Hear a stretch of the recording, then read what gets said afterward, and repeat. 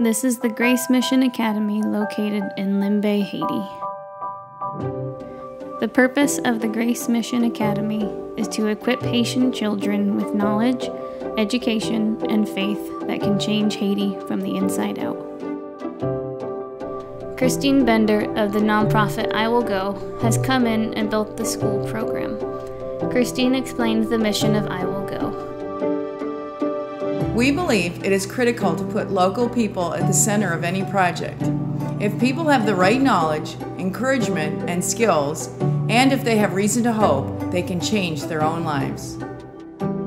The plan for the school is to be fully Haitian run, offering consistency for the students as well as employment for local Haitians. The 32 children and teens here at the Grace Mission Orphanage are enrolled in the school.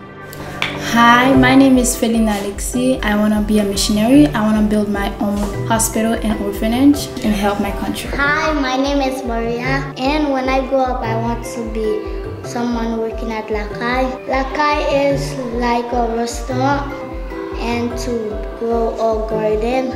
Hi, my name is Carlos Stevenson.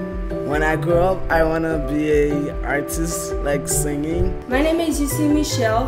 I want to be a missionary and help care for six babies, like the ones in Dexter Baby Care.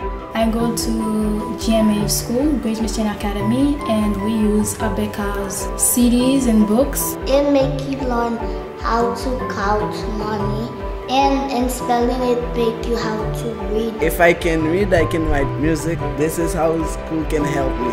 I know with God's help, they can. And I think it's going to help me in the future.